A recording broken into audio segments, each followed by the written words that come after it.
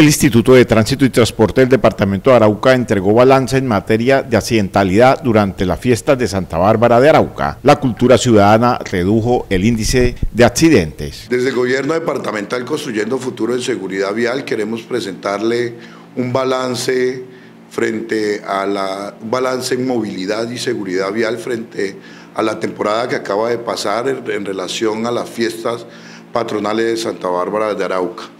Lo primero que tenemos que decir es que la cultura ciudadana eh, y el trabajo interinstitucional dio unos resultados positivos frente a la seguridad vial, a la responsabilidad ciudadana, a la salvaguardar la vida de los araucanos en cuanto a movilidad se refiere. Y es así como tenemos reportado oficialmente por parte de la Policía Nacional y de eh, las autoridades de salud de, la ciudad de Arauca que tenemos un solo accidente de tránsito ocurrido durante el periodo comprendido entre el 2 y el 8 de diciembre de la presente anualidad. El director del Instituto de Tránsito y Transporte del Departamento de Arauca, Luis Merardo Tobar, dijo que se adelantan campañas de cultura ciudadanas en materia de movilidad. Y esto es como el resultado de, del trabajo que venimos haciendo durante, hace, durante varios meses en relación a que los araucanos volvamos a adquirir cultura ciudadana, dejemos de conducir los vehículos eh, en época de festividades bajo la influencia del alcohol y que aprendamos a compartir en familia con responsabilidad.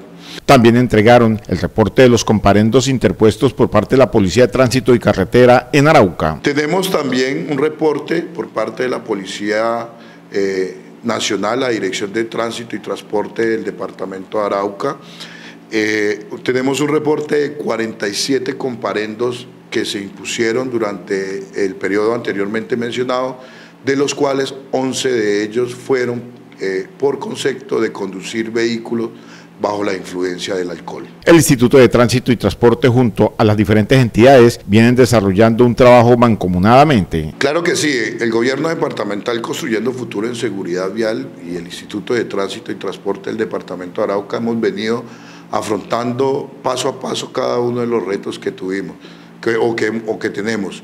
Fue así como afrontamos el de las ferias ganaderas, también con un balance bastante positivo, donde solo se presentaron dos accidentes de tránsito con lesionados. Pasamos, eh, digamos que esa primera, eh, ese, ese primer examen, ese primer quiz, entramos a fiestas patronales de Santa Bárbara de Arauca con un resultado muy positivo donde solo hubo un accidente de tránsito reportado. Por el momento, las autoridades de tránsito se enfocan en las fiestas de fin de año para evitar los accidentes de tránsito. Y nos enfocamos ahora eh, en la etapa final de las celebraciones en Arauca Capital y en el departamento de Arauca en relación con la época de la celebración de la Navidad y de fin de año. Seguir invitando a los araucanos para que sigamos teniendo cordura, responsabilidad vial, a cada uno de los alcaldes, que son las máximas autoridades de, tránsito en su municipio, para que eh, trabajemos de la manera más mancomunada que podamos para tener mayor efectividad. Según el funcionario, los alcaldes son los que toman la decisión de la movilidad en cada uno de los municipios. Claro que sí, eh, el alcalde es quien regula los temas de movilidad en cada municipio. Estamos esperando directrices y sentarnos con el alcalde Edgar Tobaro, con su secretario de gobierno, quien ellos considere pertinente, para conocer más a fondo cuáles son las decisiones que se van a tomar para este fin de año, toda vez que hasta la fecha no nos han informado qué restricciones hayan, pero desde el Instituto de Tránsito y Transporte del departamento estamos prestos para trabajar de la mano de, con ellos. También se adelantan campañas preventivas para evitar que los menores de edad conduzcan cualquier tipo de vehículo. Ha sido una lucha constante que ha tenido el Instituto de Tránsito y un aprendizaje a diario que queremos transmitirle a los araucanos y es en relación de que tenemos que cambiar esa cultura nosotros los padres de familia, que pensando que dándole un vehículo a un hijo de nosotros menor de edad, lo vamos a volver más interesante o lo vamos a volver más capaz. La invitación es que esto lo tenemos que construir desde el hogar, desde el Instituto de Tránsito.